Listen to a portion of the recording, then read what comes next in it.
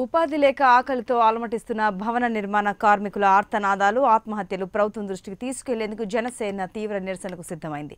ఇవాళ మధ్యాహ్నం మూడు గంటలకు మధ్యపాలెం తెలుగు తల్లి విగ్రహం నుంచి లాంగ్ మార్చ్ మొదలవుతుంది. CMR centre Rama talkies Asilmetta junction మీదుగా జీవీఎంసీ ప్రధాన కార్యాలయం ఎదురుగా ఉన్న గాంధీ విగ్రహం వరకు రెండున్నర కిలోమీటర్ల పొడవున మార్చ్ సాగుతుంది. అనంతరం బహిరంగ సభ నిర్వహించనున్నారు. ఇక మరింత సమాచారం మా కరెస్పాండెంట్ క్రాంతి వైజాగ్ నుండి లైవ్లో అందిస్తారు. క్రాంతి జనసేన లాంగ్ మార్చ్ ఇవాళ ప్రారంభం కానుందని తెలుస్తోంది. వైజాగ్లో ప్రభావం ఏ విధంగా ఉంది?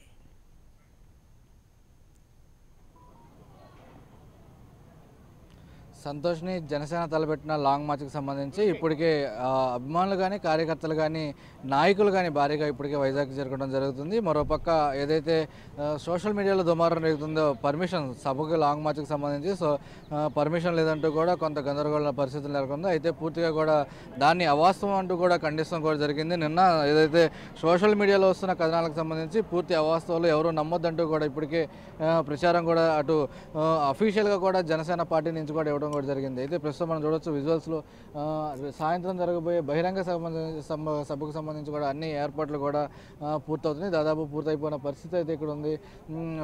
వైజాగ్లోని పార్క్ పక్కన ఉన్న స్థలంలో దానికి సంబంధించిన ఏర్పాట్లన్నీ కూడా బహిరంగ సభకి అన్ని కూడా పూ- పూర్తి చేస్తున్నారు. ప్రస్తుతం మనతో పాటు జనసేన నాయకులు ఉన్నారు. అడిగి మంచి సమాచారం తెలుస్తున్నాం. సార్ చెప్పండి.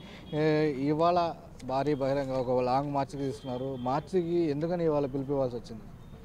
మీకు తెలుసు ఇప్పుడు ఈ రాష్ట్రంలో మినిమం కనీసం ముప్పై ఐదు లక్షల కుటుంబాలు ఈరోజు కేవలం శాండ్ మీద ఆధారపడి వాళ్ళు ఇదవుతున్నారు. నిన్న కూడా రోజు ప్రతిరోజు పేపర్లో చూస్తున్నాం. అయితే ఐదు నెలలు అయింది ఐదు నెలల నుంచి చెప్తానే ఉన్నాం. ఇది చాలా ఇబ్బంది పడేది చాలా దారుణమైన పరిస్థితి వస్తుందని. రోజు రోజుకి రోజు రోజుకి ఆశలు క్షీణిస్తున్నాయి. దానికే వీళ్ళు మొద్దు నిద్రతో ఉన్నారు. ప్రభుత్వం మొద్దు నిద్రతో ఉంది. వాళ్ళకి తెలియట్లేదని చెప్పి ఈరోజు ఏదైతే ఈ సమస్య వల్ల ఈ శాండ్ సమస్య వల్ల ఇబ్బందులు కలుగుతున్నాయో ప్రజలు ఇబ్బంది పడుతున్నారో దాని మీద భవన కార్మికులు కానీ వాళ్ళతో సంబంధించిన అది ఇతరత్ర కార్మికులు కానీ వీళ్ళందరూ కూడా ఇబ్బంది పడుతున్నారు. వీళ్ళందరినీ కూడా ఆదుకోవాలి వీళ్ళందరినీ కూడా నిల మళ్ళీ నిలబెట్టాలని చెప్పి ఈరోజు పవన్ కళ్యాణ్ గారు పిలుపునివ్వడం జరిగింది. అదే ఉన్న అన్ని పార్టీలను కూడా రిక్వెస్ట్ చేయడం జరిగింది. అందరం కలిసి నించుందాం వాళ్ళని నిలబెడదాం వాళ్ళు రోజు రోజుకి వాళ్ళ పరిస్థితులు దిగజారుతున్నాయి. ఆ దిగజారే పరిస్థితుల్లో కనీసం రోజు రోజు రోజుకి మనం ప్రతిరోజు పేపర్లో ఈరోజు పేపర్లో కూడా చూసాం రోజు ఆత్మహత్యలు పెరుగుతున్నాయి.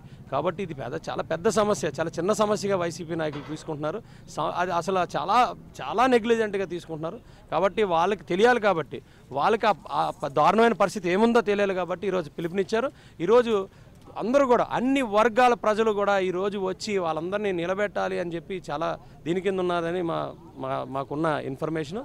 ఇది చాలా బ్రహ్మాండంగా సక్సెస్ అవుతుంది. సక్సెస్ అంటే ఏం లేదు. ఆ ఆ నిరసన మేము తెలియజేసి మేము ప్రభుత్వాన్ని దృష్టికి పడుకున్న మొద్దు నిద్రతో పడుకున్న ప్రభుత్వానికి మరి కొంచెం లేపాలని అందరినీ రా అందరినీ ఇక్కడికి వచ్చి అటెండ్ అయ్యి మొత్తం ఈ రాష్ట్రాన్ని కొంచెం అందరూ కూడా వచ్చి రాష్ట్రంలో జరుగుతున్న ప్రాబ్లమ్స్ని మ- మరి లే- అందరికీ తెలియజేయాలని చెప్పి ఇది ఒక మంచి అవకాశం అందరికీ పిలుపునిస్తున్నాం. అదేవిధంగా ఇక్కడ నిన్నటి నుంచి మొన్నటి నుంచి చాలా అనిశ్చిత కొనసాగుతుంది.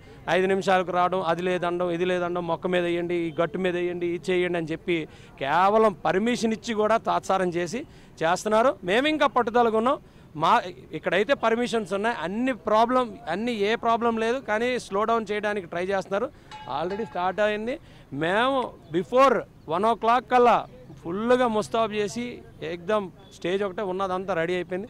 స్టేజ్ ఒకటే కొంచెం లేట్ అవుతుంది గంట గంటన్నర కానీ పర్మిషన్స్ ఉన్నాయి. అన్ని ప్రాబ్లమ్స్ సాల్వ్ చేసుకుంటూ ముందుకు వెళ్తున్నాం పట్టుదలగా స్టేడు స్టేజ్ స్టేజ్ కానీ ఉన్న ఇవి కూడా మేము బిఫోర్ టూ త్రీ అవర్స్ బిఫోరే మేము కంప్లీట్ చేసి బ్రహ్మాండంగా జరిగేటట్టు చేస్తాం. అయితే పర్మిషన్ వచ్చినప్పటికీ కూడా ఎందుకు పర్మిషన్ లేదంటే కొంత ప్రచారం దుష్ప్రచారం జరుగుతున్న పరిస్థితి అయితే ఉంది. దీన్ని ఎలా చూడొచ్చు అసలు? ఒక పక్కన పర్మిషన్ లెటర్ ఇచ్చినప్పటికీ కూడా ఏర్పాట్లకు సంబంధించి కూడా కొంత ఆటంకం కలిగిందని కూడా చెప్తున్నారు. ఎందుకని ఇలా జరుగుతుంది అనుకుంటున్నారు అసలు? సార్ పర్మిషను మేము గాంధీ విగ్రహము ఇది రెండు పెట్టుకున్నాం. ఇక్కడ వరకు ఎందుకని గాంధీ విగ్రహంతో క్లోజ్ చేద్దాం అనుకున్నాం. గాంధీ విగ్రహం కాదు అక్కడ అవ్వదని చెప్పారు. సరే ఇక్కడ అని చెప్తే ఇప్పుడు మీరు చూస్తా ఉన్నారు ఈ సైడ్ లోపలికి వేసుకోమంటున్నారు. ఆయన ఆయన పెద్ద నాయకుడు పెద్ద సభ ఇది అందరి కోసం నించున్నాం. మేము కొంచెం ఇటు సైడ్ వేసుకుంటాం దీని మీద పర్మిషన్ ఉందని కూడా చెప్తున్నాం. ఇలాగే ఆర్గ్యుమెంట్స్ జరుగుతున్నాయి నిన్నటి నుంచి అలా కాదు ఇలాగ ఇలా కాదు అలాగని చెప్తానే ఉన్నారు. సో అన్ని ముందెల్లో ముఖ్యంగా ఇక్కడ ఏంటంటే డైరెక్ట్గా మమ్మల్ని ఆపి చేసే ఇది చేసింది మాత్రం ఏయు ఏయు వీసీ గారు. నిన్న పొద్దున్న వరకు గ్రౌండ్ పార్కింగ్ కోసం ఇస్తానన్నారు. ఇవ్వకుండా డైరెక్ట్గా ఆయన ఒక పార్టీకి సంబంధించిన వ్యక్తిగా మరి నిన్న నిన్నటి నుంచి బిహేవ్ చేస్తున్నారు ఆయన. రాజకీయ ప్రోద్బలంతోనే కేవలం ఇలాంటి చర్యలకు పాల్పడారని ఏ ఏయూ ఒక ప్రొఫెసర్ చెప్తున్నారు ఏయూకి సంబంధించిన వీసీ ఇలా చేశారని చెప్తున్నారు. అంటే రాజకీయ ప్రోద్బలంతో ఇలా చేశారనుకుంటున్నారు. రాజకీయ ప్రభావం మరి ఆయనకి ఏంటి ఇప్పుడు ఈరోజు వేరే వాళ్ళకి ఇచ్చారండి.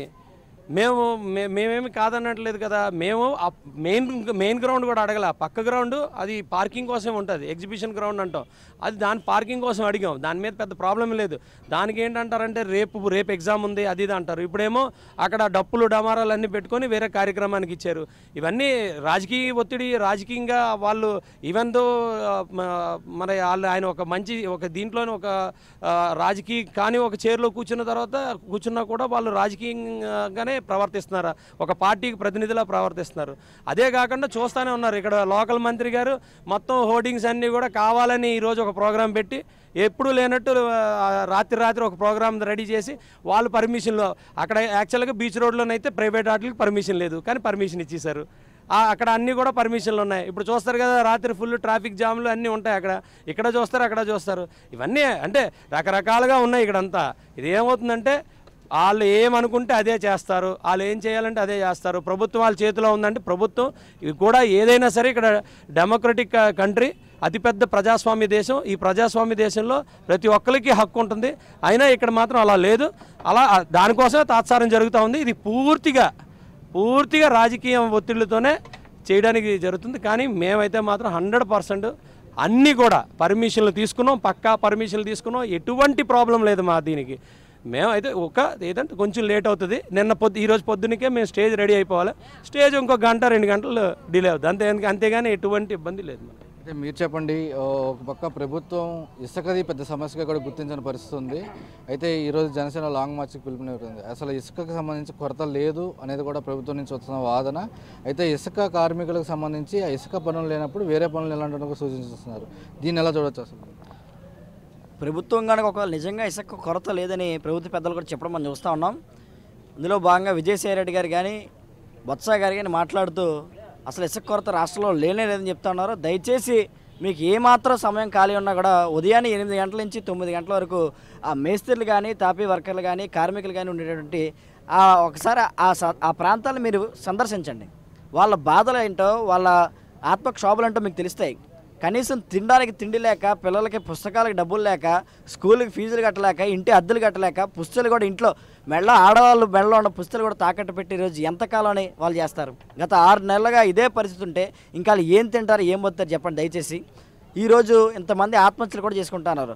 విజయసాయి రెడ్డి గారు ఆత్మహత్యలు కూడా చాలా కించపరిచి మాట్లాడారు. మీకు ఇది తగదు. ఎందుకంటే ప్రభుత్వంలో ఉన్న మీరు ప్రజలకి ఒక ప్రజారంజకమైన పాలన తీసుకురావాలి కానీ మీరు నవరత్నాలు అని చెప్పి రాజన్న రాజ్యం అని చెప్పి రంగుల రాజ్యాన్ని తీసుకొచ్చారు తప్ప ఈరోజు ప్రజలకు ఏ విధంగా కూడా మీరు మేలు చేయలేదని చెప్పి మేము చెప్తా ఉన్నాం. అందులో భాగంగానే ఈరోజు ఇంత ఇన్ని లక్షల మంది దాదాపుగా ముప్పై లక్షల మంది కార్మికులు వాళ్ళ కుటుంబాలు ఈ యొక్క సమస్యలో ఇన్వాల్వ్ అయినారు కాబట్టి పవన్ కళ్యాణ్ గారి యొక్క సమస్యను చేపట్టి ఈరోజు విశాఖపట్నం వేదికగా ఉత్తరాంధ్ర ప్రాంతం నుంచి ఎక్కువ మంది కార్మికులు ఈ వలసలు వెళ్ళిపోతుంటారు కాబట్టి ఒక విశాఖపట్నంలోనే ఆరు లక్షల మంది దాదాపుగా కార్మికులు ఇక్కడ పనులు చేసుకుంటారు కాబట్టి ఇక్కడే వాళ్ళ సమస్యలు మనం అడ్రస్ చేయాలని చెప్పి పదమూడు జిల్లాల్లో ఉన్నటువంటి కార్మిక సంఘాలకి పిలుపుని ఇవ్వడం జరిగింది. వాటి అనుబంధ సంఘాలకు కానీ ఎన్ని రంగాల్లో ఎన్ని వేల కోట్ల నష్టం ఈ ఈరోజు ప్రభుత్వానికి జరుగుతుందో అవన్నీ కూడా గుర్తు చేస్తూ ఖచ్చితంగా మీరు ఒక ఒక పాలసీ తీసుకున్నప్పుడు దాన్ని చక్కగా అట్టడుగు వర్గాల వరకు కూడా అమలయ్యేటటువంటి విధానాలని మీరు ప్రవేశపెట్టాలి కానీ ఈ విధంగా ప్రజలను ఇబ్బంది పెట్టేటువంటి విధానాలు మీరు తీసుకురాకూడదని పవన్ కళ్యాణ్ సూచనప్రాయంగా చెప్పారు.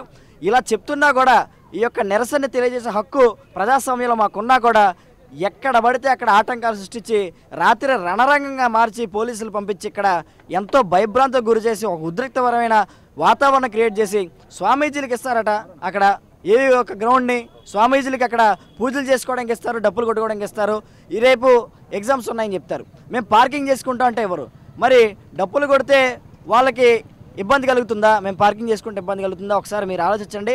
ఖచ్చితంగా అధికారులందరూ కూడా ఏదో మీరు వైసీపీ పార్టీ మీకు జీతాలు ఇస్తున్నట్టు చూస్తున్నారు తప్ప ప్రజల పన్నులు కడితే వాళ్ళ యొక్క ఆ డబ్బు నుంచి మీకు జీతాలు వస్తున్నట్టుగా మీరు వ్యవహరించట్లేదు. ఇది మాత్రం చాలా దుర్మార్గం దారుణం కూడా. ఖచ్చితంగా ప్రజలు ఇలాంటి ప్రభుత్వాన్ని బుద్ధి చెప్పడానికి కూడా సిద్ధంగా ఉన్నారు. ఎందుకంటే ఎందుకు రావాలి జగన్ కావాలి జగన్ మీరు నినాదం తీసుకొచ్చారు కానీ ఈరోజు ప్రజలందరూ కూడా మాకొద్దు జగన్ ఇంకొద్దు జగన్ అనే నినాదాన్ని ఈరోజు ఎత్తుకోవడం జరిగింది. ఖచ్చితంగా పవన్ కళ్యాణ్ గారు ఈ దిశగా పోరాటాన్ని కొనసాగిస్తూనే ఉంటారు. ఏ సమస్య మీదైనా ఆయనతో ఉండి పోరాడేందుకు జనసేనగా మేము కూడా సిద్ధంగా ఉంటాం. అయితే మరోపక్క వైసీపీ నాయకుల వాదన మరేగా ఉంది అటు టీడీపీ కానీ వైసీపీ కానీ కలిసి వైసీపీని టార్గెట్ చేస్తూ జనసేన టీడీపీ రెండు ఒకటే పార్టీ చంద్రబాబు పిలిపిస్తే పవన్ కళ్యాణ్ కూడా దాన్ని లాంగ్ మార్చ్గా మళ్ళించి ఈరోజు లాంగ్ మార్చ్ పెట్టారనేది కూడా వైసీపీ నాయకుల నుంచి వస్తున్న వాదన. దీన్ని ఎలా చూడొచ్చు? అంటే రాష్ట్రంలో ఉన్న ముప్పై ఐదు లక్షల కార్మికులను కూడా చంద్రబాబు నాయుడు తీసుకెళ్ళిపోయాడా? లేకపోతే ఈరోజు రాష్ట్రంలో ఉన్నటువంటి కార్మికులు చనిపోతున్నారు కదా వాళ్ళని కూడా చంద్రబాబు నాయుడు తీసుకోవడం కాదండి. ఈరోజు ఏ సమస్య వచ్చినా మాకు ఆర్చే తీర్చే నాయకు నూట యాభై ఒక్క ఎమ్మెల్యేలు మీకు ఉన్నా సరే ఒక ఎమ్మెల్యే గెలిచిన ఒక్క సంఖ్య సంఖ్యతో మాకు సంబంధం లేని కార్మికులు ఈరోజు పవన్ కళ్యాణ్ గారు రా- దగ్గరికి రావడం జరిగింది. అందులో భాగంగానే ఆయన చలించి వారి సమస్యల పట్ల ఈరోజు ఆకలి కేకలు రాష్ట్రం అంతా కూడా వినబడుతున్నాయి. మరి మీ చెవురికి వినబడలేదంటే మరి వైసీపీ నాయకులు ఏమన్నా కూడా మాకు అర్థం కావట్లేదు. మీరు నేను ఉన్నాను నేను విన్నాను అన్నారు. మరి ఈరోజు ముప్పై ఐదు లక్షల మంది కార్మికుల యొక్క ఆకలి కేకలు మీరు మీకు వినబడట్లేదా? ఈ రోజు మరి మీరు ఎక్కడున్నారు? జగన్మోహన్ రెడ్డి గారిని కూడా మేము ప్రశ్నిస్తా ఉన్నాం. ఖచ్చితంగా ఇవన్నీ వాస్తవ విషయాలు. మొన్న అంబటి రాంబాబు గారిని కానీ అవంతి శ్రీనివాస్ గారిని కానీ బొత్స సత్యనారాయణ గారిని కానీ కార్మికులు వెళ్ళి గెరావ్ చేశారు నిలదీశారు. ఆ రోజు సమాధానం చెప్పలేదే? ఆ రోజు ఒక్క మాట కూడా మాట్లాడలేదే? మరి ఆ రోజు ఏమైంది ఈ నోరు? ఆ రోజు చెప్పాల్సింది కాదు కార్మికుల దగ్గర ఇసుక కొరత లేదు బాగానే ఉందని చెప్తే ఎందుకంటే రోడ్ల మీద తన్నేటువంటి పరిస్థితి ఈరోజు ఖచ్చితంగా ఆంధ్ర రాష్ట్రంలో ఉంది. అది మీరు గుర్తు చేసుకోవాలి. ఇది వాస్తవం కూడా. అయితే మీరు చెప్పండి నిన్న కూడా భవన కార్మికులకు సంబంధించిన ఒక మేస్త్రి సీఎం జగన్మోహన్ ఇంటి కొంత దూరంలోనే చనిపోవడం జరిగింది. అయితే ఒక పక్క ప్రభుత్వం ఇసుక కొరత లేదు ఇసుకది శాశ్వతమైన సమస్య కాదు తాత్కాలికం అని కూడా చెప్తుంది. దీని ఎలా చూడవచ్చు అసలు? ఒక్కటి ఇక్కడ జగన్మోహన్ రెడ్డి గారికి కానీ మినిస్టర్ బొత్స సత్యనారాయణ గారికి కానీ సోకాల్డ్ నిన్న మాట్లాడిన ఇద్దరు మినిస్టర్లు కానీ ఒకటే. ఈ రాష్ట్రంలో ఎన్ని ఇసుక రీచ్లు ఉన్నాయి? మేము చెప్తున్నాం మూడు వందల నలభై ఐదు. ఎన్ని ఇసుక రీచ్లు మీరు తెరిచారు? గవర్నమెంట్ వచ్చిన తర్వాత నలభై ఐదు. నలభై ఐదు ఇసుక రీచ్లు మూడు వందల నలభై ఐదు. మీరు తెరవలేదు. దానికి సమాధానం చెప్పండి. మీ పాలసీ ఎప్పుడు పెడదాం అనుకున్నారు? నలభై ఐదు రోజులు. నలభై ఐదు రోజుల నలభై ఆరో రోజు. మీ పాలసీ ఇంప్లిమెంటేషన్ అయ్యిందా? అవ్వలేదు. ఇంప్లిమెంటేషన్ కాకపోగా వరదలు వచ్చాయి సరే వరదలు వన్ మంత్ తర్వాత నెక్స్ట్ వరదలు ఎక్కడొచ్చాయి? లేవు. ఒక వన్ మంత్ వరదల గురించి మీరు నాలుగు నెలల నుంచి వరదలు అని చెప్తున్నారు. ప్రజలారా అందరు గమనిస్తున్నారండి ఖచ్చితంగా. ఇసుక కార్మికులు అని మీరు ఇప్పుడు మా సోదరుడు చెప్తున్నారు. ముప్పై ఐదు లక్షలు అయితే కాదు.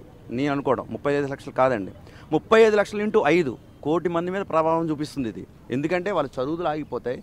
వాళ్ళు కాలేజీలకు వెళ్ళాలి. పిల్లలు చాలామంది ఉద్యోగాలు చేసుకోవాలి. ఎందుకంటే ఈ రోజు వరకు జగన్ గారి ప్రభుత్వం ఏమనుకుంటుందని ఇసుక లేకపోతే ఇదేమవుతుందని అనుకుంటున్నారు. ఇసుక లేకపోతే ఆరుగురు కార్మికులు మీరే అంటున్నారు కదా ఆరుగురు కార్మికులు చనిపోయారు. కార్మికులు చనిపోతే ఎందుకు చనిపోయారని మీరు ఒకవేళ మినిస్టర్ని వెళ్ళి అడగ అడగమనండి. ఇసుక వల్ల లేదు. ఇసుక ఎందుకు వల్ల లేదనంటే మీరు అడగండి.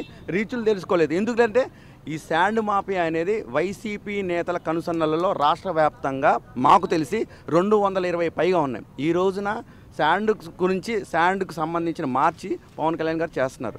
చేస్తున్న దానికి ఇది ఆయన ఒక వ్యక్తిగతంగా చేస్తున్నారా? ఇది ఇక్కడ భవన నిర్మాణ కార్మికులు ఇదే వైజాగ్లో లక్ష యాభై పైగా చిలుకున్నారు ఇక్కడ. ఆరులో ప్రాంతం నుంచి ఇక్కడ వరకు. వాళ్ళందరికీ మద్దతుగా తెలపడానికి శ్రీకాకుళం విజయనగరంలో ఉన్న భవన కార్మికులు కానీ ఎందుకంటే ఒకరోజు వెళ్తేనే వాళ్ళకి రాదు ఖచ్చితంగా జీవితాలు సాగవు. మీరు నలభై ఐదు నుంచి నాలుగు నెలల నుంచి ఖాళీగా పెట్టారు. ఖాళీగా పెట్టి మీకు ఇసుకుంది ఇసుకుంది అని అంటున్నారు ఎక్కడ ఇసుకుందో చూపించండి. ఎంత రేటో చెప్పండి. అది కొనుక్కోవడానికి ప్రజలంతా సిద్ధంగా ఉన్నారు. మీరు ఇసుక లేకుండా ఇన్ని రోజుల నుంచి మీరు ఎందుకు చేస్తున్నారు మమ్మల్ని? ఈ సభలను అడ్డుకోవడం ఎంతవరకు సమంజసం అదే సభలు మీరు అడ్డుకోవాలంటే మీ యొక్క పాదయాత్ర సాగేదా? మూడు వేల చిల్లర ఏదో చేశారు కదా సాగేదా? మాకు టూ అండ్ హాఫ్ కిలోమీటర్ పైగా ఉన్న ఈ లాంగ్ మార్చ్కి మీరు ఇవ్వలేకపోతున్నారంటే మీలో భయం ఖచ్చితంగా ఉంది. ఎందుకంటే మీరు తప్పు చేశారు. ప్రజలకు క్షమాపణ చెప్పండి. అందువల్ల మేము కోరుతున్నాం ఖచ్చితంగా ప్రభుత్వం ఇప్పటివరకైనా కళ్ళు తెరుచుకొని రేపటి వరకు పవన్ కళ్యాణ్ గారు ఈరోజు వచ్చారు. రేపటి వరకు మీ పాలసీని మార్చుకొని ఇమ్మీడియట్లీ ఇసుక రీచ్లన్నీ తెరిచేయండి. ఉచితంగా ప్రజలకు అందజేయండి అని మేము కోరుకుంటున్నాం. పవన్ కళ్యాణ్ ఎన్నింటికి వస్తారు? సభ ఎన్నింటి నుంచి మొదలవుతుంది? పవన్ కళ్యాణ్ గారు ఖచ్చితంగా అక్కడ మూడు గంటలకు చేరుకుంటారండి. మూడు గంటల నుంచి తర్వాత ఇక్కడ వరకు నాలుగు గంటలకు అయిన తర్వాత నాలుగు గంటలకు ఇక్కడ సభ ఖచ్చితంగా జరుగుతుంది. ఇక్కడ ఉన్న చిన్న లోపాలు ఏంటంటే మన ఆంధ్ర యూనివర్సిటీ వీసీ గారు చాలా తెలివితేటలుగా మాకు లేదు ఆహా ఏం లేదు అని అంటున్నారు. ఆహా వీసీ గారు మీరు ఆంధ్రాకు సంబంధించిన ప్రత్యేక హోదా చే- చేసినప్పుడు అమ్మ మాకు మాకు పర్మిషన్ ఇవ్వలేదని చెప్పేసి మీకు కూడా అక్కడ ఆ ప్రభుత్వం చేసినప్పుడు కూడా మీకు చేశారు. ఇప్పుడు ఖచ్చితంగా ఇదే వీసీ ఎందుకు మాకు పర్మిషన్ ఇవ్వట్లేదు? ప్రజా సమస్యల మీద- పట్ల మేము కోరుతున్నాం. అక్కడ సభ అడగలేదండి మేము. అక్కడ పార్కింగ్ అడిగాం. అక్కడ సభ అడగలేదు పార్కింగ్ అడగ. పార్కింగ్ కూడా మీరు కాదనుకొని మీరు బాణాసంచా కాల్చుకోవడానికి మంత్రికి సంబంధించిన పూజలు చేసుకోవడానికి మనకి మీరు ఏయు గ్రౌండ్ వాడుకోవచ్చు. అప్పుడైతే ఎడ్యుకేషన్ అడ్డు రాదు. ఇప్పుడు ఎడ్యుకేషన్ పార్కింగ్కి ఎడ్యుకేషన్ అడ్డు వచ్చిందా ఇది మీరు ఆలోచించండి. అక్కడ కూడా మాకు సహకరించాలని కోరుతున్నాం. మొత్తంగా కూడా జనసేనకు సంబంధించిన లాంగ్ మార్చ్ చేపట్టింది. లాంగ్ మార్చ్ సంబంధించి కూడా పూర్తి ఏర్పాట్లన్నీ కూడా పకడ్బందీగా చేయడం జరుగుతుంది. ఎక్కడ ఇబ్బందులు వచ్చినప్పటికీ కూడా పర్మిషన్ ఉన్నప్పటికీ కూడా అధికారులందరూ అధికార పార్టీ నాయకులందరూ అదేవిధంగా అధికారులందరూ కూడా అధికార పార్టీ నాయకులు తొత్తులుగా మారి మమ్మల్ని ఇబ్బంది పెడుతున్నారంటూ కూడా అక్కడ జనసేనకు సంబంధించిన కార్యకర్తలు నాయకులు ఒక ఎంత ఆవేదన కూడా వ్యక్తం చేస్తున్న పరిస్థితి ఇక్కడ ఉంది. మొత్తంగా చూసుకుంటే పవన్ కళ్యాణ్ మధ్యాహ్నం మూడు గంటలకి ఇక్కడ చేరుకుంటాడు. నాలుగు గంటలకి భారీ బహిరంగ సభలో కూడా పాల్గొని ఈ మ- ఈ లాంగ్ మార్చ్కి సంబంధించి అటు భవన నిర్మాణ కార్మికులకి ఒక భరోసా ఇచ్చే అవకాశం అయితే ఉంది సంతోష్ని. Right Kranthi thanks for your live update